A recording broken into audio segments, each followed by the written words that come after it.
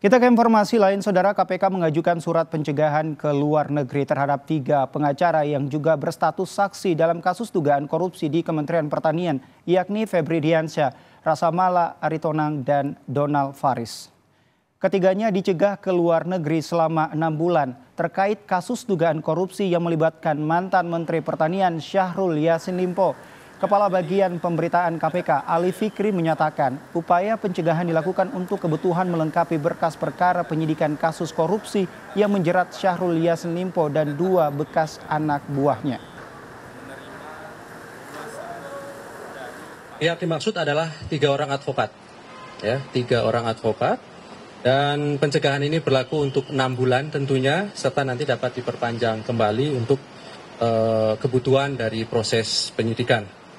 Pencegahan agar tidak pergian ke luar negeri tentu sebagai bagian dari kebutuhan proses penyidikan, di mana ketika keterangan tiga orang advokat ini nanti dibutuhkan, tetap berada di dalam negeri dan tentu kelancaran dari penyelesaian berkas perkara dengan tersangka SL ini dapat cepat selesai, begitu ya. Saya kira itu. Ada lagi? Uh, yang pernah dipanggil dan diperiksa. Ya, oke. Okay. Dalam pesan singkat, Febri Diansa menyatakan terkait pencegahan ke luar negeri, saya belum dapat pemberitahuannya secara resmi. Tapi yang bisa kami pastikan, kami tentu menjalankan tugas sebagai advokat dengan itikat baik dan profesional. Jika ada keterangan yang dibutuhkan dari kami sebagai advokat, pasti kami akan datang ke KPK.